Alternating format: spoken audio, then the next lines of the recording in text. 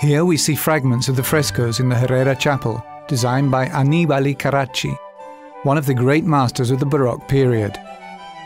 In 1602, the Castilian nobleman Juan Enriquez de Herrera commissioned the decoration of a family chapel dedicated to Saint Didacus of Alcalá in the Church of St. James of the Spaniards in the Piazza Navona in Rome.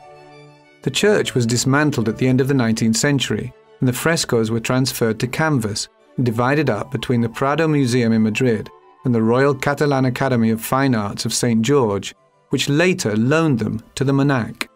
Annibale Carracci started painting the preparatory cartoons and supervising the work in 1604, and continued to oversee the project until he fell seriously ill.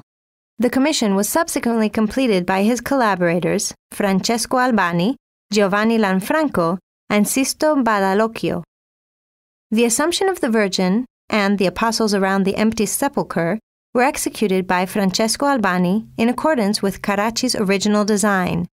There are also fragments showing episodes from the life and miracles of Saint Didacus of Alcalá, to whom the chapel was dedicated.